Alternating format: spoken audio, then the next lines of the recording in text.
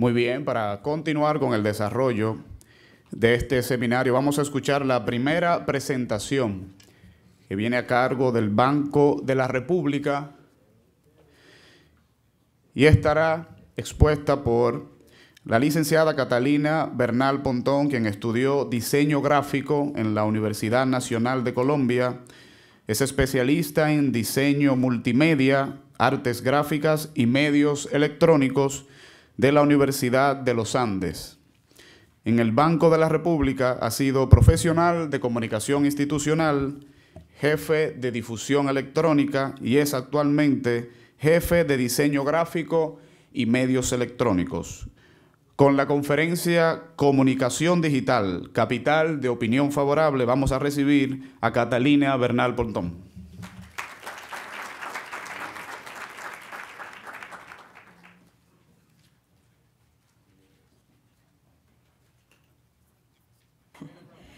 Quiero agradecer al Banco Central de la República Dominicana por esta invitación. Y a todos ustedes por estar aquí, inclusive a los que están virtualmente acompañándonos. El día de hoy les voy a contar el caso Colombia, el caso Banco de la República. El Banco de la República es el par de, del Banco Central de acá. Tenemos exactamente nuestras mismas funciones. Y pues espero lo disfruten. en el momento en que surja cualquier pregunta, adelante, pueden levantar la mano, no tenemos que esperar la sesión de preguntas. Y para aquellas preguntas que queden sin resolver con gusto al final de la presentación, el café en los intermedios, no duden en acercarse.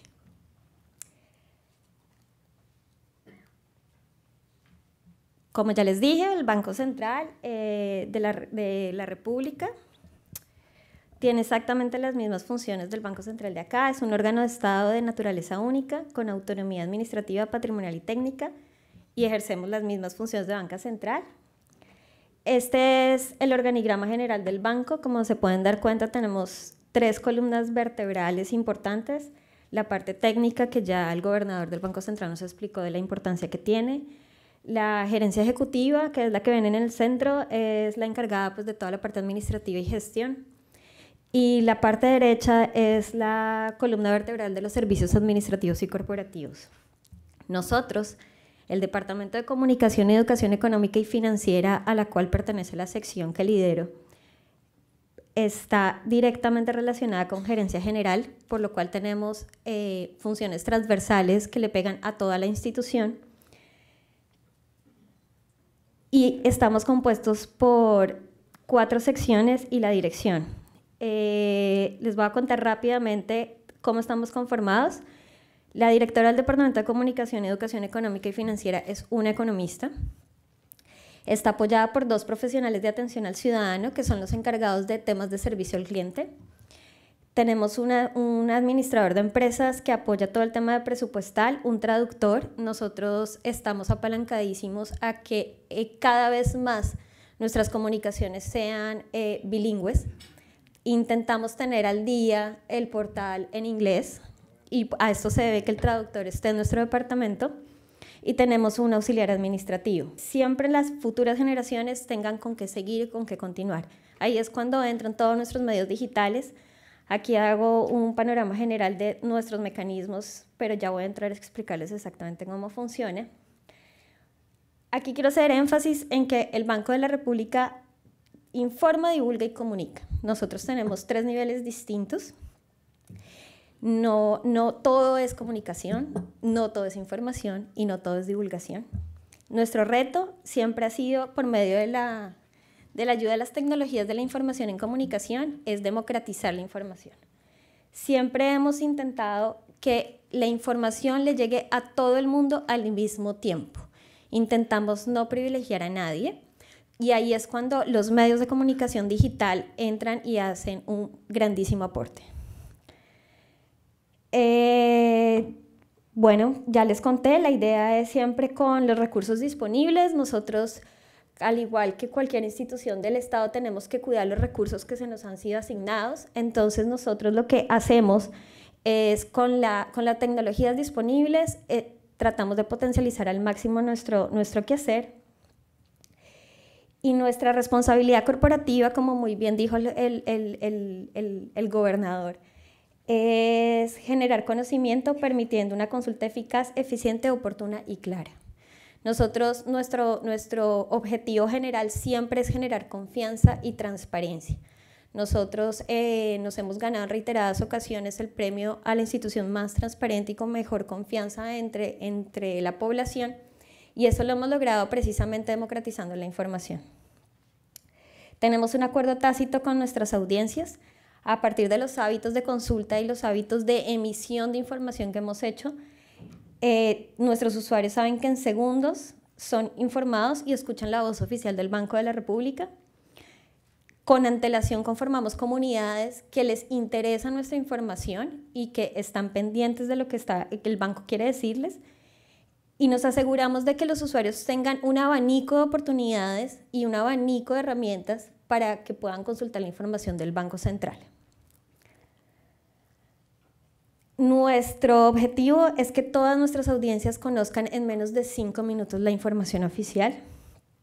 Este es un panorama general de cómo nosotros graficamos o visualizamos a nuestras audiencias. Quiero llamar la atención de ustedes que en el centro tenemos a los empleados familiares y pensionados, nosotros vemos a los empleados, a los pensionados y a sus familiares como multiplicadores de la información. No los vemos con el, con el cargo de vocería oficial del banco, pero sí hemos, hemos visto que estas pequeñas redes que tienen cada uno de los empleados a su alrededor nos, nos permite llevar la información con mucha más eficiencia. Nosotros, eh, el banco tiene 22 sucursales y aprovechamos a todos los empleados para darles la información, porque precisamente como tenemos tan buena imagen dentro del país, nosotros sabemos que normalmente cuando la gente quiere desmitificar algún tipo de información que han escuchado al Banco de la República, lo primero que hacen es acceder al empleado del banco que conoce.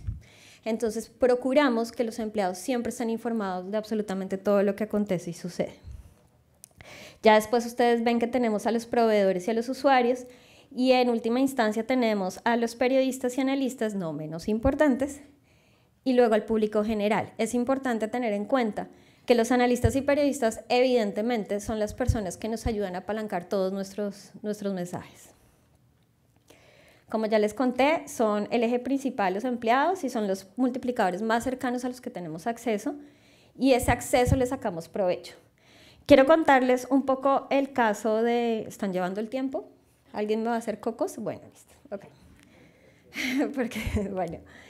Eh, en Colombia tenemos un Ministerio de Telecomunicaciones que lleva trabajando fuertemente más de unos seis años en tratar de hacer que la tecnología y la Internet permee en muchos de nuestros espacios y muchos de nuestros territorios. Entonces les quiero contar algunos datos generales esta información está toda en internet, entonces pues pueden después leer el, informe completo, si así quisieran. Eh, en el último reporte, que es del, trimestre, del primer trimestre de 2014, mm, el, el Ministerio TIC nos informó que habían 8.883.004 suscripciones de banda ancha, más 632.155 de otras. Entonces, eso nos da una suscripción de 9.514.159. No es muy impresionante. Pero cuando uno va a ver, esto nos quiere decir que tenemos una penetración de 18.6, teniendo en cuenta únicamente las suscripciones. ¿Qué, ¿Cuál es el hábito en Colombia? El hábito en Colombia es que existan unos kioscos de Internet, un café Internet. Eso cuenta como uno pero seguramente hay miles y miles de personas que están accediendo a esos servicios. El Ministerio de Telecomunicaciones tiene a disposición de todos los colombianos una serie de kioscos internet en zonas muy alejadas, en donde se ha podido establecer que la penetración real de la población de Colombia en temas de Internet está entre el 85 y el 90%, lo cual es bastante significativo para nosotros y obviamente es algo a lo que nosotros como Banco Central le queremos sacar provecho. Nuestra población está en 47 millones de personas, ya somos muchos los colombianos que estamos por ahí. Y esto es algo que a mí siempre me ha sorprendido en Colombia. Tenemos más celulares que gente. No sé cómo, pero lo tenemos. Inclusive tenemos celulares para los niños que vienen en el futuro. Entonces es impresionante la cantidad de móviles y telefonía celular que está en Colombia circulando. Esto empieza a tener un sentido muy alto si uno empieza a revisar que el ministerio y el gobierno están empezando a dejar conexión wifi gratuita en las ciudades, en el transporte público, inclusive en el campo. Esto se empieza a volver muy significativo que las personas tengan un equipo móvil en sus manos. Estos son los suscriptores que tenemos en Internet móvil, no sé si se dan cuenta, pero los datos son mucho más altos al Internet tradicional, lo cual es un poco extraño porque normalmente la conexión móvil es más costosa en nuestro país, pero con todo eso vemos que hay una serie de personas que se están empezando a montar en la Internet móvil.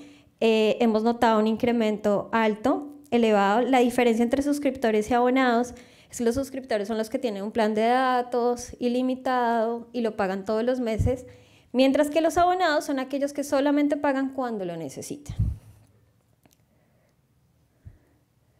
Bueno, ahora sí voy a entrar en materia. Esta es la estrategia de comunicación, comunicación institucional del Banco de la República en la línea naranja. Ustedes ven una línea de tiempo donde a la izquierda, a la izquierda de ustedes, sí, tenemos el cero y hacia la derecha va aumentando el tiempo. En la parte blanca, que es la parte superior, encontramos los productos internos digitales del Banco de la República y en la parte inferior encontramos los productos externos del banco en el, quiero que se fijen mucho en el, en el punto cero de la, de, la, de la línea, porque ese es nuestro eje principal.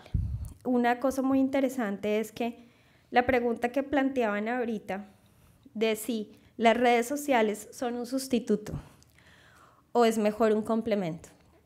Y realmente yo creo que es un complemento. Nosotros les vamos a demostrar por qué por más que hemos implementado una serie de productos variables, nuestro eje principal sigue siendo el portal oficial y sigue siendo la intranet.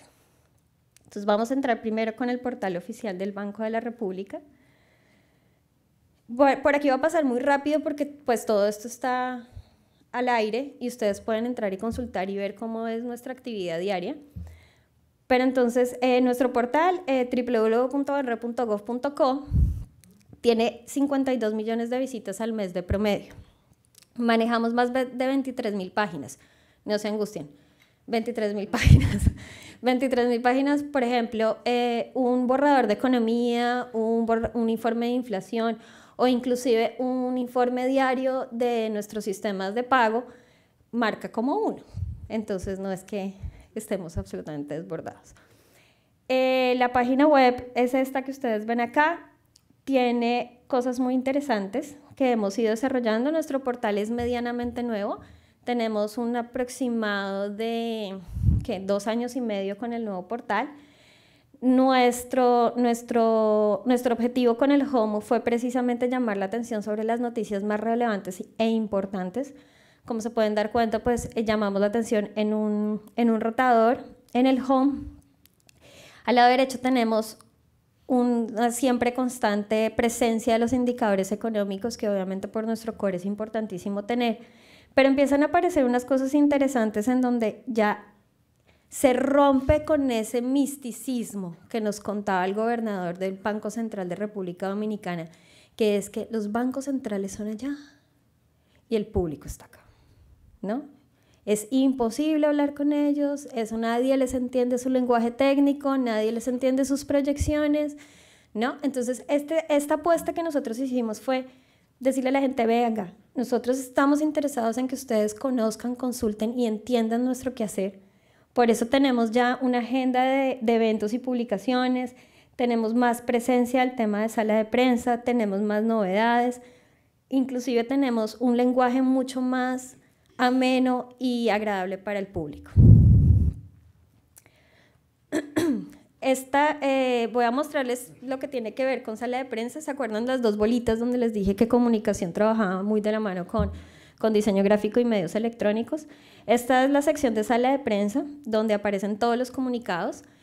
nosotros ya empezamos a hacerles una separación al público de, comunicados por temas. Los comunicados que tiene la junta directiva, que es la que toma decisiones de política monetaria y cambiaria, los separamos y como pueden ver empiezan a aparecer otros temas que son de interés mucho más em, común, como es la educación económica y financiera, como es el tema de las sucursales que se abren, las sucursales que se cierran, las renovaciones que se hacen en los edificios. y esto todo tiene un tema de, que el usuario pueda buscar tranquilamente lo que, está, lo que necesita, utilizar palabras claves, ya no se necesita ser un erudito en la economía para poder acceder a esta información. Tenemos audios y videos, nosotros tenemos, procuramos siempre eh, transmitir en tiempo real por live stream nuestra rueda de prensa de, decisiones de junta. Como ven en, el primer cuadrito aparece al lado derecho nuestro gerente y al lado izquierdo el ministro de Hacienda y Crédito Público, que es el presidente de la Junta Directiva. Esto siempre nosotros lo, lo, proyectamos en tiempo real. Tenemos una cuenta paga por Livestream que nos permite tener 500 espectadores concurrentes. Y, y, estamos siempre con todo el, todo el equipo de comunicaciones listo porque ellos salen en cualquier momento de su junta directiva y empiezan a leer el comunicado de prensa. Nosotros transmitimos la lectura del comunicado y después toda la sesión de preguntas. Eh, aquí vemos, tenemos las galerías fotográficas, que obviamente cualquier, cualquier noticia que podemos contar por medio de, fotos y novedades lo hacemos por aquí. Y tenemos, esto es un ejemplo de una página de, para un público en particular, que es todo el tema de operaciones cambiarias que son todas las personas que, que, realizan intervención cambiaria. Entonces aquí les, les hacemos un filtro de la información que les compete únicamente a ellos. Estos son pues ejemplos de páginas que hemos hecho especiales por ciertos temas en particular. Perfecto. Ahora quiero que vean la parte de arriba. Arriba tenemos, ah bueno, abajo tenemos el live stream que les estaba contando. Esta estadística de 180, 180 espectadores concurrentes es para las ruedas de prensa de junta directiva. Normalmente no hay una hora determinada en la que se salga a hacer la rueda de prensa, eh, puede ser en cualquier momento. Entonces eh, es importante el, nivel. 180 es que 180 hicieron clic al mismo tiempo, ¿no? No es que estén 180 viendo, sino que hicieron clic al mismo tiempo. Entonces es bien interesante. Mm, más o menos las ruedas de prensa duran entre, entre 20 y 30 minutos máximo. Estas son las estadísticas que tengo del livestream. El, la dirección de nuestro canal es livestream.com slash banrep. Entonces, como se pueden dar cuenta, eh, es interesante. Tenemos ya 1.662.000. No tenemos mucho tiempo en livestream, llevamos más o menos dos años. Dos años, tres años, cuatro años. Mentiras, cuatro años tiempo pasa muy rápido. Eh, 203.800 streams. Eh, normalmente, esto me parece muy interesante que lo vean, y es que el promedio de tiempo que invierte una persona es de 8 minutos. Y eso es clave para nosotros. Nosotros no decimos mucho en medios digitales, pero sí estamos escuchando todo. Y cuando quiero decir escuchar es que estamos viendo estadísticas, estamos revisando y analizando eh, comportamientos, hábitos de consulta y sobre todo hacemos un análisis cualitativo de los comentarios y de la información que nuestras comunidades circulen. Este es un muy buen ejemplo. Esto nos da un punto de partida importantísimo que es ocho minutos. Ocho minutos no es nada. Ustedes han intentado, me imagino que los, de, los colegas del Banco Central, llevar un mensaje de economía en ocho minutos es un reto. Entonces, esto es muy importante tenerlo en cuenta porque los espectadores nos están dando esto, nos están dando ocho minutos y con suerte, porque realmente ahora un joven o un estudiante de universidad le da 40 segundos al mensaje. Entonces, es clave que lo tengan en cuenta. Esta también es la geolocalización que nos da, que nos da el live stream de la gente desde que IPES entra a, ver nuestros videos, pues como nos podemos dar cuenta, obviamente la gran mayoría son colombianos. Sin embargo, tenemos un importante número de estadounidenses, por lo cual eso, eso refleja nuestro interés, obviamente, por tener material angloparlante. Y es importante también la cifra de Brasil. Estos son eh, las, en lo que más ha invertido la gente, obviamente la nueva familia de monedas. Nosotros tuvimos un evento muy importante a mediados del 2012, que fue el lanzamiento de la nueva familia de monedas. Y pues es evidente que es el video más visto. Esto es una rueda de prensa que hizo el gerente con, con los periodistas en donde pues presenta la familia. Y pues es de los más, de los más visitados. Y en segundo está el taller de billetes, que es un taller de reconocimiento de billetes. Pero como podemos darnos cuenta, la, única rueda de prensa que está entre los top es una del 2012, que fue de las primeras ruedas de prensa que, emitimos. Entonces, realmente la popularidad de las ruedas de prensa frente a otros temas que son de interés mucho más amplios, pues es variada. Bueno, ahora vamos a la parte de arriba. Infobanco es nuestra intranet. Nosotros somos 2.680 empleados aproximadamente y tenemos alrededor de 200 contratistas que trabajan dentro de la institución, es decir, son personas que tienen acceso a nuestra intranet. Así se ve nuestro infobanco actualmente, nuestro infobanquito, como le decimos nosotros, que es nuestro bebé.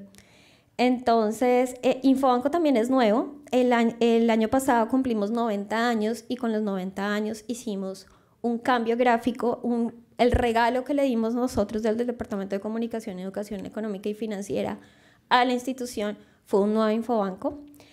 El nuevo infobanco, eh, este, es, este es el home, como ustedes pueden darse cuenta, al lado derecho tiene noticias más que todo de interés interno. En el lado izquierdo tenemos un área que se llama el Banco para el Mundo, que realmente es las mismas noticias que estamos publicando en, en el portal. Y tenemos una sección de enlaces de interés. Somos, estamos, tenemos presencia en 22 ciudades. Entonces, como se dan cuenta, mantenemos un criterio de navegación por dependencias y ciudades, pero a partir del lanzamiento de este nuevo portal empezamos a ofrecer una nueva arquitectura de información. Les dividimos la información a los empleados de una forma distinta. ¿Qué nos estaba pasando? Yo tenía que saber que para pedir vacaciones tenía que entrar al departamento de gestión humana y luego tenía que hacer clic en servicios de gestión humana y luego tenía que hacer clic en formularios electrónicos y luego encontraba vacaciones. ¿No? Entonces, donde no supiera, donde no supiera qué área estaba encargada cada uno de los servicios, yo quedaba absolutamente perdido. Imagínense uno entrar nuevo a una institución de 2680 donde le dicen a uno que todo es por medio de la intranet. ¿Cómo hago para hacer todo? Pido un carnet por medio de la intranet. Entonces era tal el conocimiento que necesitaban previamente nuestros empleados para poder acceder a los servicios que les planteamos esta nueva arquitectura de información. ¿Qué hicimos? Les dividimos todo. Dijimos usted y su familia y usted y su labor. Como se dan cuenta que usted, aquí en usted y su familia, la gente ya encuentra servicios relacionados con la salud, con la educación, con compensación y beneficios. Acá abajo se hace una publicidad de las actividades del momento y al lado derecho tenemos unos accesos directos que son de un interés particular y en el lado derecho tenemos el tema de mercadeo, endomarketing, de nuestras, de nuestras actividades, de lo que queremos eh, llamar la atención en su momento. Esta es usted en su labor, en donde al igual que, que usted en su familia, hicimos una división interna en donde tenemos cosas de, para los colaboradores, para las dependencias, para edificios y entornos y unos accesos directos. Al igual que, que en el lado de para usted y su familia, tenemos al lado derecho una sección para mercado directo, en donde tenemos las dos campañas que en el momento más fuerte le están pegando a los empleados. La otra sección que tenemos es los servicios, lo que les contaba, esto funciona con un buscador, sin embargo, eh, hay una sección de servicios más consultados y servicios útiles para usted. Esto se hace con el perfil de cada, de cada empleado.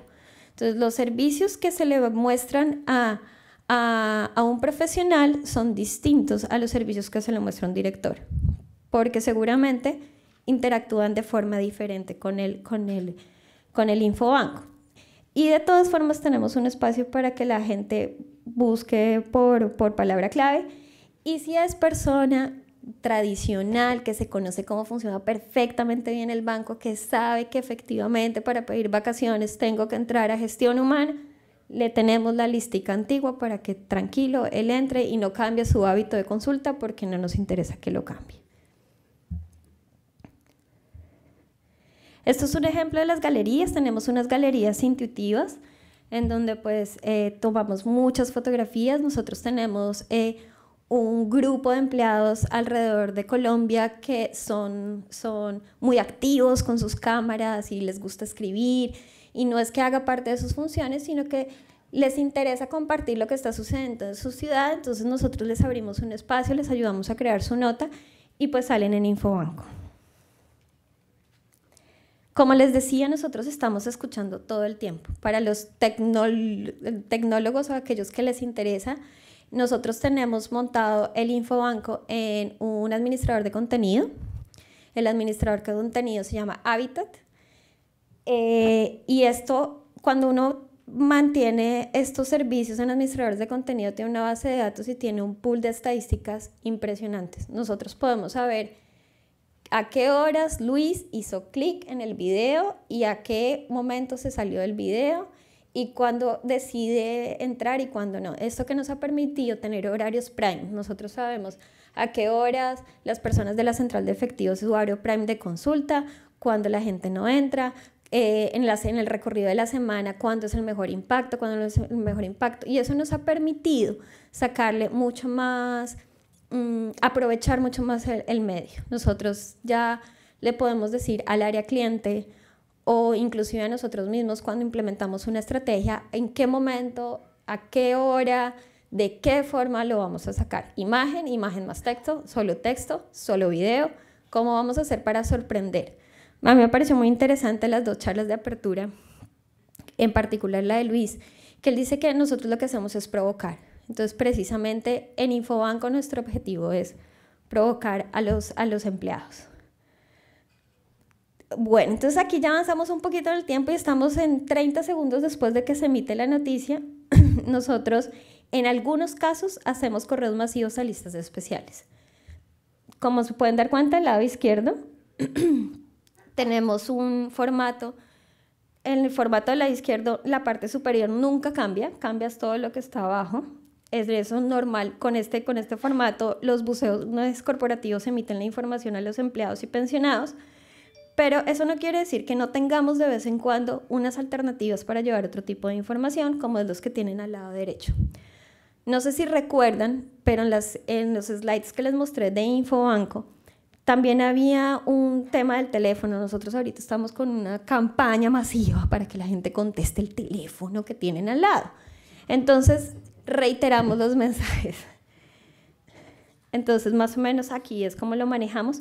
Cuando yo les decía que el eje central de la comunicación digital del banco son los medios oficiales, es porque el portal del banco y el portal de Infobanco es donde nosotros emitimos toda nuestra información. Todos los demás mecanismos son para multiplicar y llevar el mensaje, pero cualquier persona que quiera validar la información que nosotros estamos emitiendo por los distintos canales siempre va a poderla validar en nuestros dos portales. Cuando es información solamente de interés interno, pues van a Infobanco, como es el caso aquí, que le decimos cómo participar, la gente hace clic y va a Infobanco donde se cuenta toda la estrategia. Cuando es página web, pues se hace lo mismo, pero para público externo. Entonces, lo que les contaba del teléfono, y este fue un tema muy lindo que se hizo con el área cultural, en donde invitábamos a todos los, las personas cercanas a la comunidad del banco a contar cómo había sido el 7 de abril. Perfecto. Seguimos avanzando un poquito en el tiempo y entonces tenemos los correos masivos para listas de especialistas y listas especiales como son para periodistas y analistas. Estas listas son las que tiene prensa, estas listas son las que ha ido capturando prensa a través del tiempo. Se tiene un aproximado de 800 periodistas y analistas anotados y se maneja un promedio de 6 a 10 correos mensuales. En esto el área de comunicaciones es muy sensata y muy juiciosa en su administración.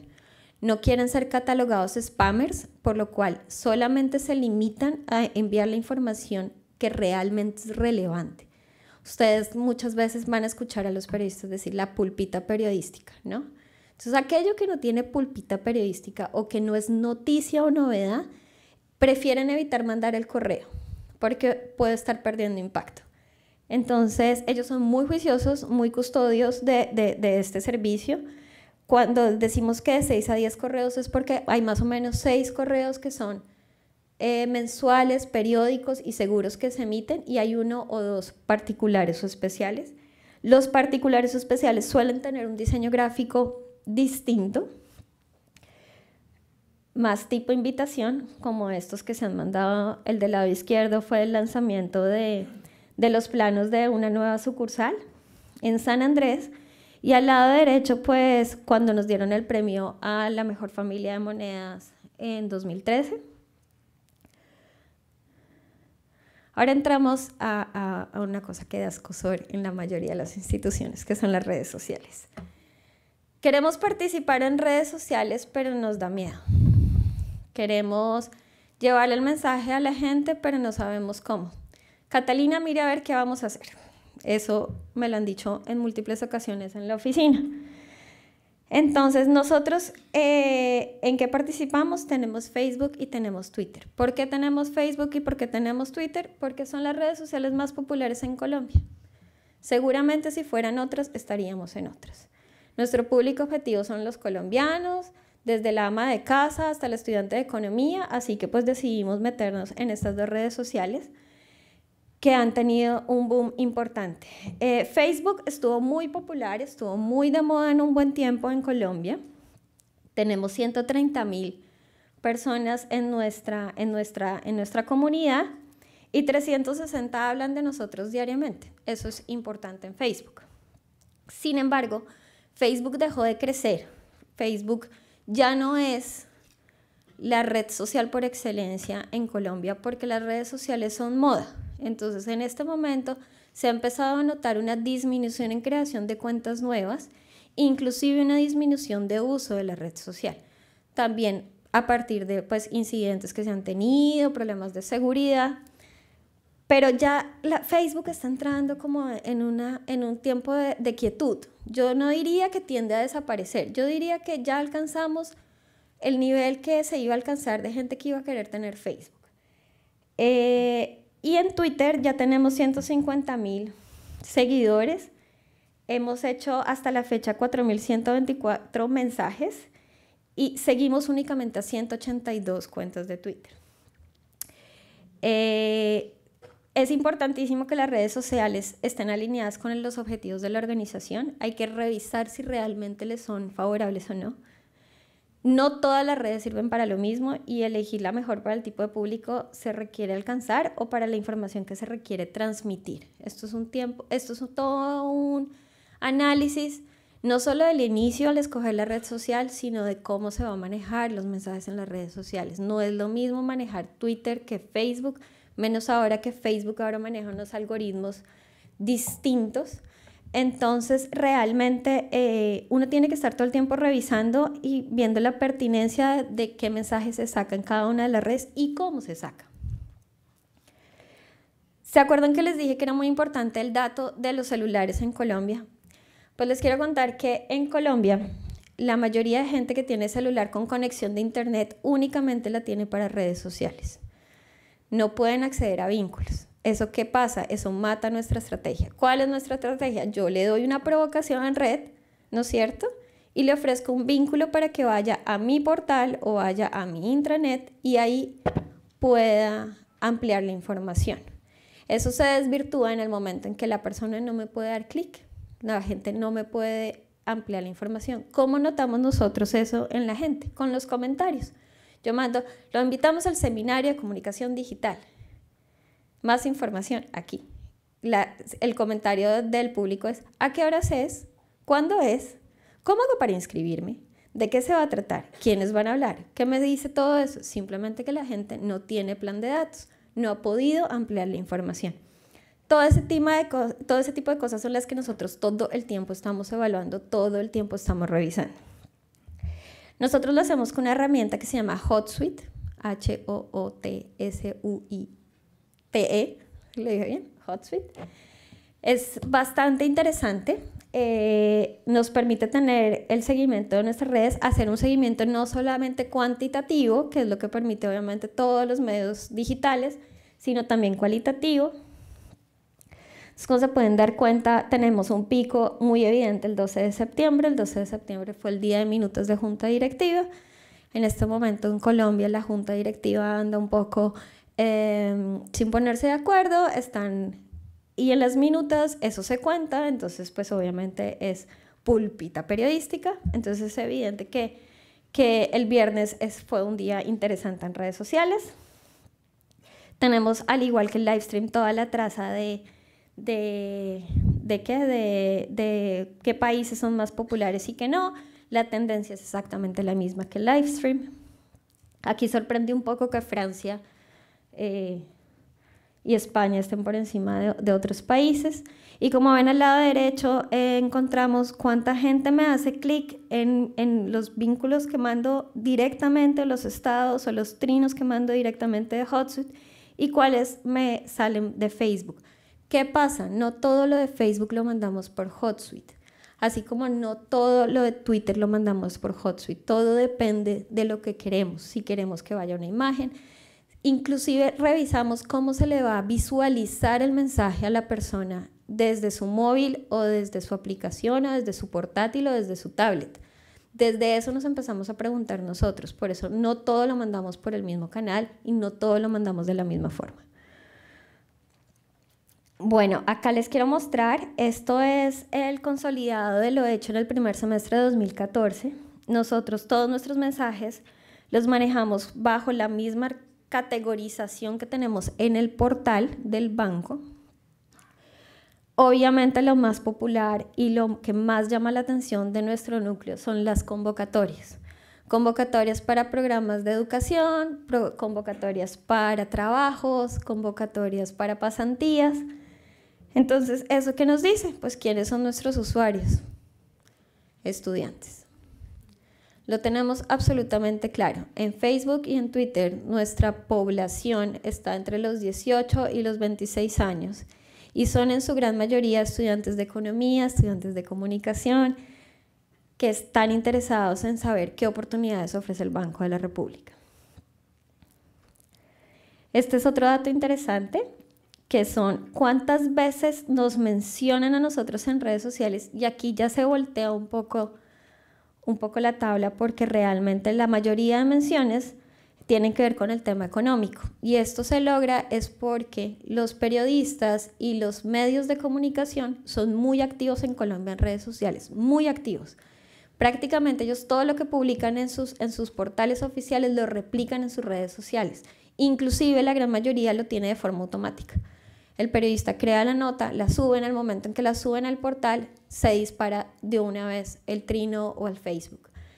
Entonces, un periodista saca una nota o un blog y pues sale a las redes sociales. Estamos hablando que un, medio de comunicación del banco, eh, un medio de comunicación de Colombia está tan bien posicionado como Shakira o como James. Entonces se podrán imaginar la popularidad que tiene este tipo de cosas. Entonces nosotros, ¿qué hacemos ahí? Ahí escuchamos.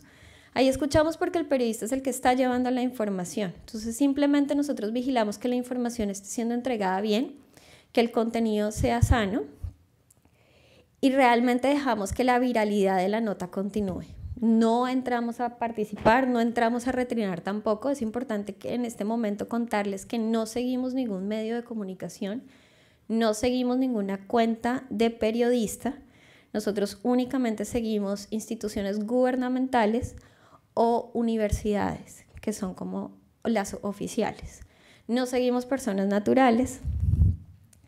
Entonces, realmente nosotros ahí dejamos que la viralidad continúe, si es que no es infavorable la, la mención. Sí, dime.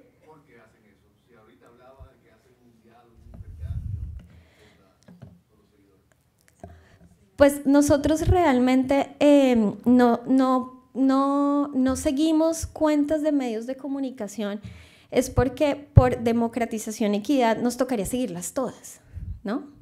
Tendríamos que darles todas. Normalmente lo que yo le cuento a la gente es que cuando yo sigo una cuenta, yo estoy diciendo, estoy de acuerdo con lo que está diciendo este medio, ¿no es cierto?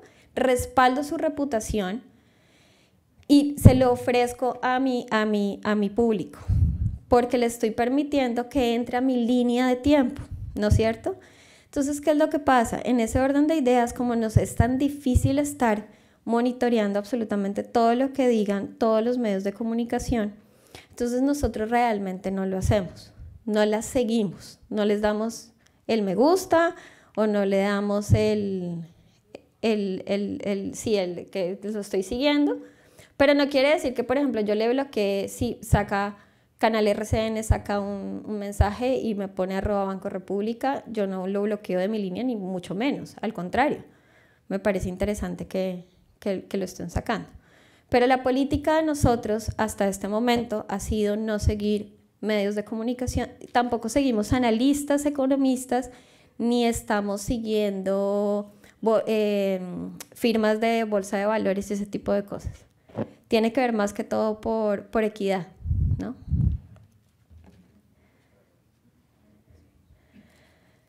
Bueno, eh, pues ya les había mostrado popularidad por convocatorias.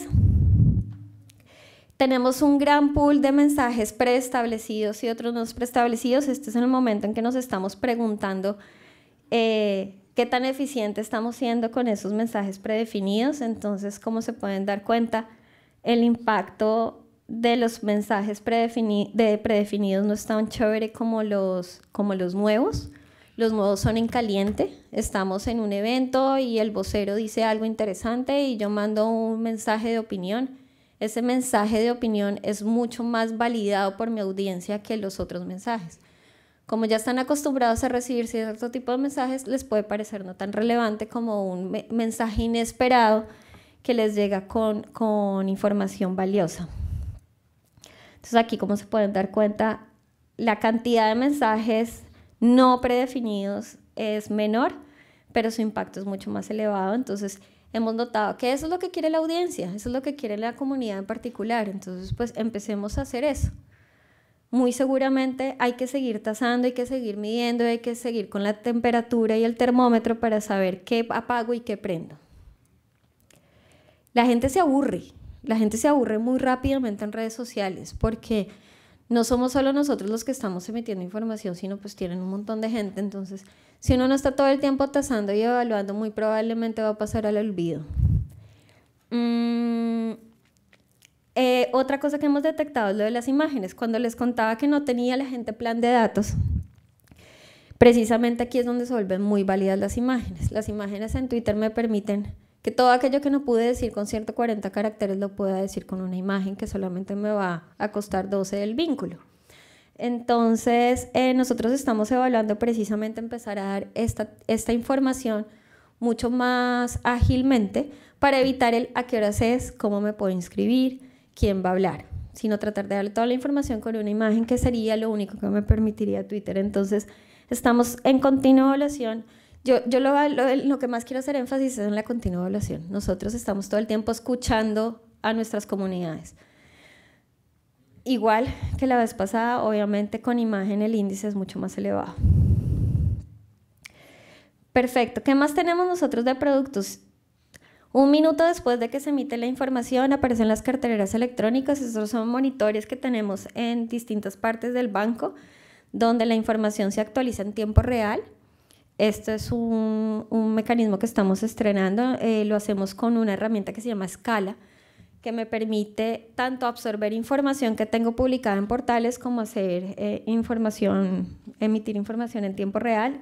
Buscamos espacios como los pasillos de tránsito, salas de espera, vestidores y lugares de encuentro. Lo que menos queremos es que una persona se nos quede al frente del, del televisor porque pues, nos puede estar ocasionando un accidente. Los tenemos verticales y horizontales, como se pueden dar cuenta. La información al igual que todo lo demás, eh, se amplía en el portal del banco o se amplía en Infobanco. Tenemos eh, electrónicas para audiencia combinada. Entonces, audiencia combinada son las personas que están en puntos de atención al público en el banco, donde pueden ser tanto empleados como no empleados, o visitantes o usuarios. Eh, sobre todo se utiliza en, la, en, las, en las tesorerías. No sé si el Banco Central de acá hace cambio de monedas y billetes. Nosotros lo hacemos, nosotros cambiamos monedas por billetes y billetes por monedas. Entonces la gente mientras espera tiene una, una pantalla combinada en donde pues puede por un lado ir viendo la novela o el partido, porque en Colombia el fútbol es muy importante, y al otro lado le estamos dando toda la información que nosotros como comunicación, educación económica y financiera queremos socializar con ese tipo de audiencia. hacemos mucho estudio del tipo de audiencia, mucho estudio de la información. La persona que va a ir a cambiar la moneda no le interesa saber que tenemos una nueva forma de medir el PIB en Colombia. Esa persona lo que interesa saber es cuáles son las nuevas condiciones para el cambio de moneda, cuánto es el valor, en fin. Livestream y YouTube en diferido. Nosotros solamente utilizamos Livestream para, para, para emisión en tiempo real. Para en diferido, si tú utilizamos pues el Livestream ya después de que uno ha hecho la transmisión en diferido, eh, en, en tiempo real queda en diferido y en YouTube, pues si quisimos ser parte de la red, en YouTube eh, hasta ahora tenemos 409 suscriptores y solamente 97.313 visualizaciones. Pero es que nosotros en YouTube Así se ve el embebido de nuestro portal. Nosotros en YouTube realmente lo que tenemos, entonces aquí están nuestras nuevas monedas, que estamos enamorados los colombianos de las nuevas monedas, estamos felices con nuestros animales. ¿Qué material nosotros montamos en, en YouTube? Y eso es lo que les quiero mostrar. Bueno, aquí como se dan cuenta, eh, la página de visualización solamente el 72% y reproductor eh, insertado en otros sitios web 25. Esa es la gente que lo está viendo en nuestro portal. Y aquí les quería mostrar que colgamos en YouTube. En YouTube tenemos los comerciales de la nueva familia de monedas, los talleres educativos de la nueva familia, los talleres de, de cuidado de los billetes, eh, los, los comerciales en inglés, en inglés y en español. Tenemos el que ven, que dice 1998, El fantasma del banco, es un video educativo. Nosotros aquí no colgamos las ruedas de prensa, pero que hemos notado que hay gente que sí entra a nuestro, a nuestro live stream, descarga el, el video y lo sube a YouTube en su canal. A nosotros eso no, no nos, no nos importan, al contrario nos parece interesante en esos ejercicios que hacen algunas personas de querer compartir las ruedas de prensa, pero en YouTube nosotros no subimos las ruedas de prensa porque ya las tenemos en live stream, entonces ¿para qué nos agotamos haciéndolo en los dos canales? Perfecto, sigamos. Eh, también tenemos videos internos por demanda, entonces en Infobanco también tenemos espacio para videos cortos de 10 minutos. Eh, son accesibles desde cualquier sucursal y son con interfaces muy interactivas. Entre las 24 horas de emitir la información y las 48 horas, nosotros hacemos este tipo de, de alertas a nuestras listas de correo. ¿Qué hacíamos con anterioridad? Noticia o novedad que se publicaba en el portal, inmediatamente disparaba un correo. Esto generaba alrededor de 10 correos diarios. ¿Qué pasó con la gente? Se cansó. Si yo estoy recibiendo sus correos y los correos del colegio de mi hijo y los correos de mi abuelita y los correos y los correos y del banco y de no... Entonces, no, no, no, no me dé tanta información, la gente se nos está empezando a salir de nuestras listas de correo. Así que dijimos, no, venga, cambiamos la metodología y más bien hagámosles un informe de novedades. No importa que no le llegue exactamente en el mismo momento en que nosotros publicamos, porque para eso la gente tiene otros, otras herramientas como los RSS. Entonces, realmente lo que estamos haciendo ahora es que más o menos dos veces a la semana le mandamos un compendio a todos nuestros suscriptores de la información. Son 10.500 suscriptores los que tenemos actualmente. Tenemos tres listas de interés, uno que son las novedades económicas, otro que tiene que ver con la normatividad, que les encanta a los abogados, y el de actividad cultural, que obviamente es supremamente popular y tiene un público muy distinto. Estos son los formatos de las listas de correo. Como nos se pueden dar cuenta, al lado izquierdo tenemos eh, la publicidad de libros digitales y al lado derecho tenemos el, el ejemplo de cómo le llega a los abogados las novedades reglamentarias. ¿Qué más sucede entre las 24 y 48 horas? Las imágenes emergentes. No sé si ustedes han visto los pop-ups, los dichosos pop-ups que le salen a uno. Hay veces cuando entra a páginas web, nosotros para los empleados tenemos la posibilidad de activar en ciertos computadores las imágenes emergentes que queramos. Entonces con esto complementamos la información. Una vez más les digo, esto todos son como brazos de un, mismo pulpito. O sea, nosotros lo que hacemos es utilizar todos los medios digitales que tenemos a nuestro alcance para, para disparar hacia todas las puntas, pero realmente toda la información siempre se puede validar en nuestro portal, siempre.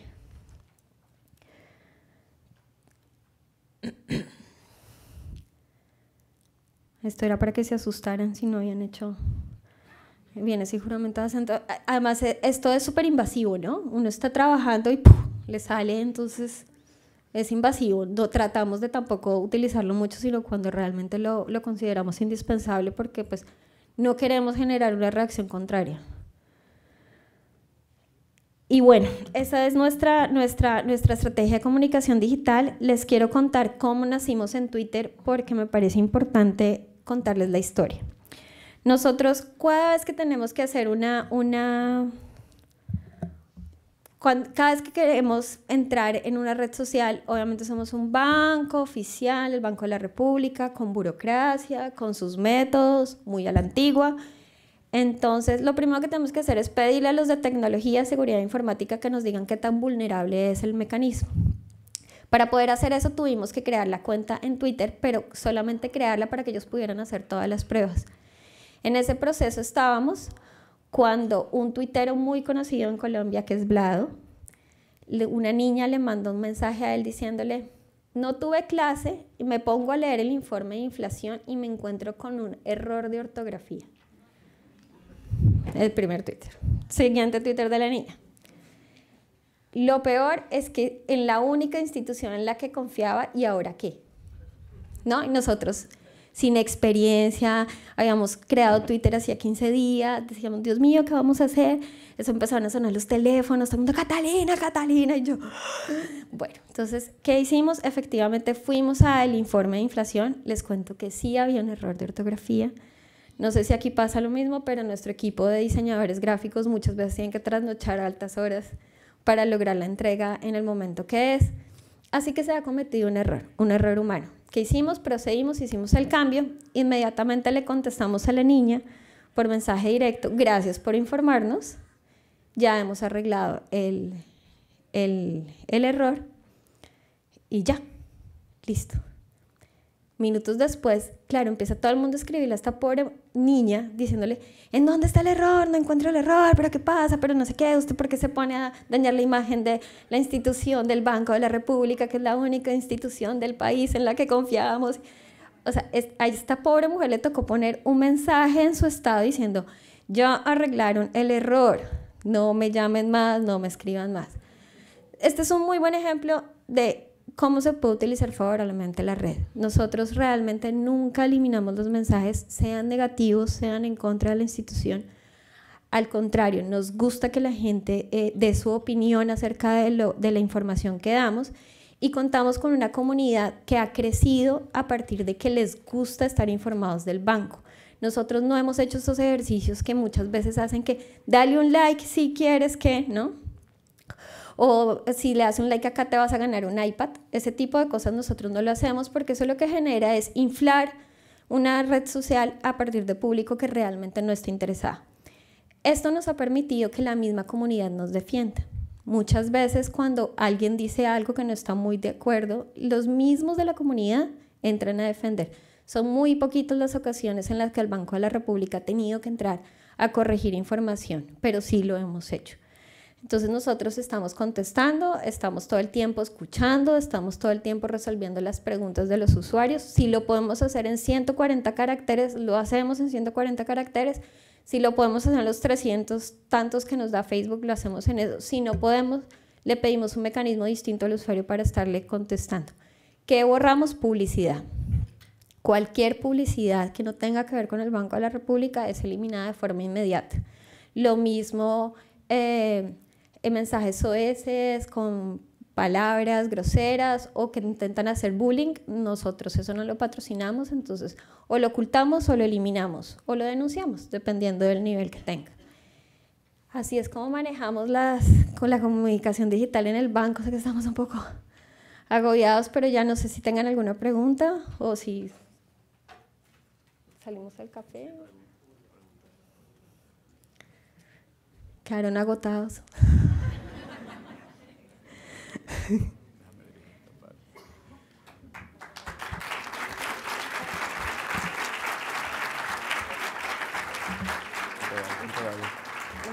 Bien, hay unos micrófonos disponibles para la sección de preguntas y respuestas. Yo sé que hay, hay muchas y también, también a través de nuestros canales de comunicación digital, utilizando el hashtag seminario BCRD, hay preguntas, yo sé que ya hay una. Si se anima, podemos empezar por ahí, ¿verdad? Podemos empezar con la primera pregunta a cargo de Miguel Otañez y de Silvia Furniel que preguntan, ¿Cuál es el protocolo de contestación que utilizan por sus redes sociales en el Banco de la República y ellos están viendo el seminario a través de nuestra cuenta de Livestream? Bueno, Miguel, eh, nosotros, como decía anteriormente, eh, tenemos protocolos, como buena institución tenemos protocolos. Nosotros, por ejemplo, tenemos por política que solo contestamos en horas laborales. Eh, la comunidad crece a partir de hábitos entonces nosotros, así me estén escribiendo a mí a las 12 de la noche, es que necesito que me conteste esto para la tarea, nosotros solamente contestamos en horario laboral. Eh, contestamos únicamente lo que nos permite dejar el mensaje absolutamente claro con la red social por donde nos lo preguntan. Entonces, si yo con los 140 caracteres puedo contestarle a la persona, le contesto. Si lo que necesito es mandarle un vínculo para que amplíe la información, le contesto. Si yo veo que definitivamente no lo puedo hacer, no le contesto. ¿Qué contesto directamente? Contesto directamente aquello que de pronto es muy particular y solamente le interesa a esta persona. Pero si yo veo que la pregunta puede ayudar a que toda la comunidad resuelva dudas similares, pues le contesto abiertamente. Ese es el protocolo que nosotros tenemos. Quejas, reclamos, felicitaciones, sugerencias o denuncias de acto de corrupción no las atendemos por redes sociales. En ese caso, eh, a la persona la redireccionamos a la herramienta electrónica que tenemos para ese tema, sobre todo porque hacer una denuncia en 140 caracteres, si lo logra, es mejor contratarlo para el equipo de comunicación para hacer copies digitales porque es bastante difícil. Aquí hay una pregunta. Hay un micrófono disponible, por favor.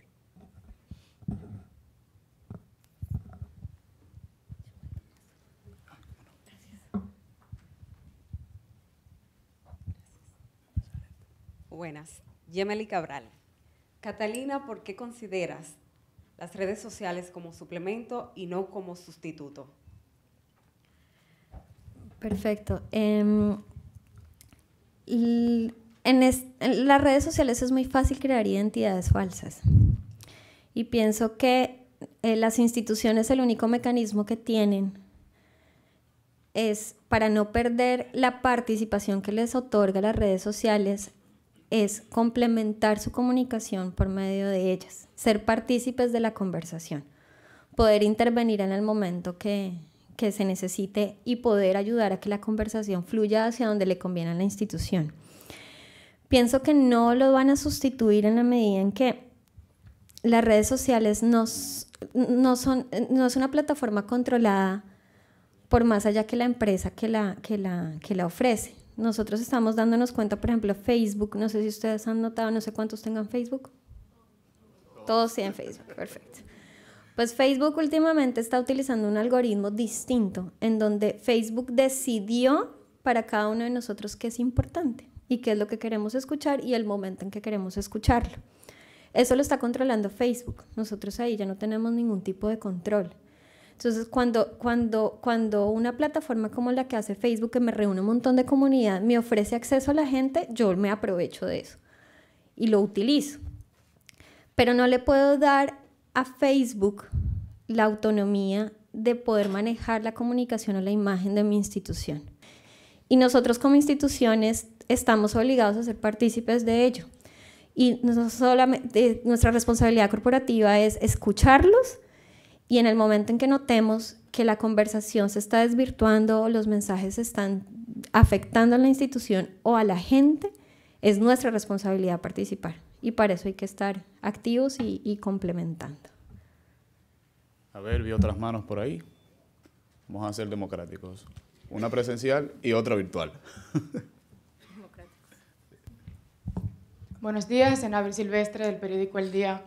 Este, me gustaría saber cuál es el tiempo de espera de, de respuesta en las redes sociales y cómo discriminan que van a responder, porque normalmente haces una pregunta al Banco Central y aunque tenga la respuesta ahí, tiene que el gobernador central aprobar la respuesta. Ah, ok, perfecto, sí, muy buena pregunta. Se me olvidó decirles una cosa importantísima. Nosotros hacemos seguimiento de redes sociales diariamente tenemos dedicado a uno de los ingenieros que hace parte del equipo. Eh, ella eh, con HotSuite todos los días, lo primero que hace tan pronto prende el computador es ver qué está hablando nuestra comunidad en cada una de las redes, qué preguntas nos están haciendo. Ella genera un informe, ese informe tratamos de mandarlo antes de las 9 de la mañana, se le manda al equipo de comunicaciones, a la directora de comunicaciones, y en ese mismo informe de una vez está diciendo cuáles son las preguntas que requieren respuesta. Hay algunas que ya tenemos la respuesta con antelación. Si se tiene la respuesta con antelación, inmediatamente ella lo detecta en la línea de tiempo, lo responde, lo evacúa inmediatamente. Todas aquellas preguntas que necesitan algún tipo de revisión por parte del área técnica o, de la persona encargada del negocio al que nos están preguntando, se le escala rápidamente y se le informa por qué red llegó. Entonces ya los tenemos medianamente educados a nuestros directivos y les decimos, bueno, gerente, esta entró por Twitter.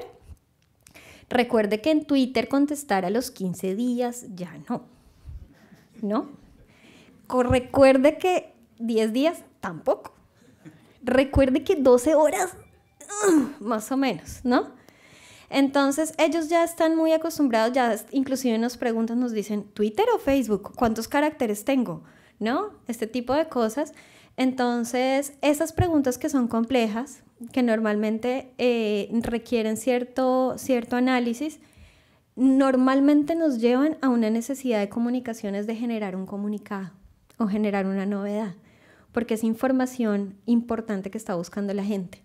Normalmente pasa eso. Cuando se empieza a detectar que hay una cierta necesidad de información que está siendo carente por parte de la institución, la respuesta suele ser un comunicado y un comunicado muy bien armado. De resto, todo lo más tratamos de evacuarlo eh, eh, remitiendo al portal o, remitiendo, o dando la respuesta inmediatamente. Pero estamos todo el tiempo escuchando y escuchando y escuchando y escuchando. Bien, un fuerte aplauso para Catalina Bernal Pontón. Jefe de diseño gráfico y medios electrónicos del Banco de la República. Es bueno que sepan que esta conferencia de Catalina estará disponible en el portal del Banco Central tan pronto terminemos esta actividad y el video de la misma también en el canal de YouTube Banco Central RD. Muchas gracias, Catalina.